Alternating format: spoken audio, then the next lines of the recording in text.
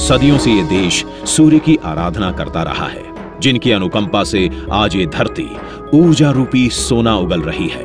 सौर ऊर्जा आज की नहीं, बल्कि 21वीं सदी की ऊर्जा जरूरतों का एक बड़ा माध्यम होने वाला है।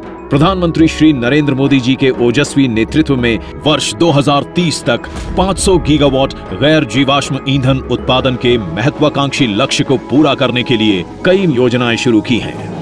सरकार ने ग्रीन एनर्जी कॉरिडोर्स की परिकल्पना की, जिसमें सौर एवं पवन ऊर्जा संयंत्रों से प्राप्त बिजली का राष्ट्रीय ग्रिड से एकीकरण संभव हुआ।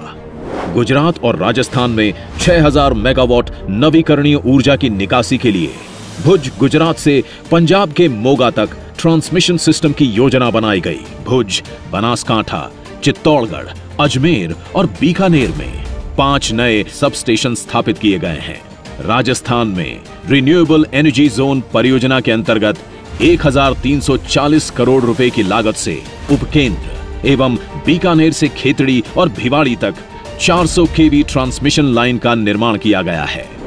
राजस्थान के बीकानेर में ही प्रधानमंत्री के स्वस्थ भारत, समृद्ध भारत संकल्प के तहत यहाँ के मेहनती श्रमिकों तथा उनके परिजनों को बेहतर स्वास्थ्य सुविधाएँ प्रदान करने के लिए ईएसआईसी द्वारा बनाया गया है 30 बिस्तरों वाला अस्पताल। यह अस्पताल भविष्य में 100 बिस्तरों में उन्नयन योग्य है और इसमें आधुनिक चिकित्सा सुविधाओं के साथ आयुष की सुविधाएँ भी उपलब्ध होंगी।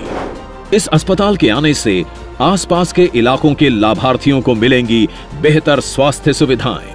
और आज माननीय प्रधानमंत्री श्री नरेंद्र मोदी जी इन परियोजनाओं को राष्ट्र को समर्पित कर रहे हैं।